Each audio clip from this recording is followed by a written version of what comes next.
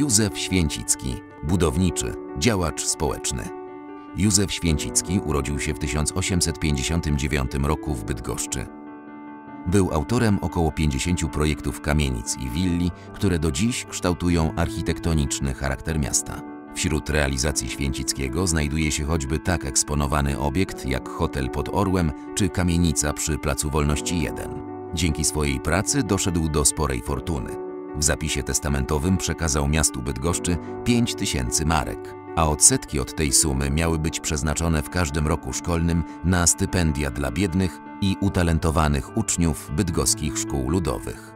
Gdy zmarł w berlińskim szpitalu, po upadku na schodkach kolejki miejskiej, jego ciało sprowadzono do Bydgoszczy i pochowano 8 listopada 1913 roku na cmentarzu nowofarnym.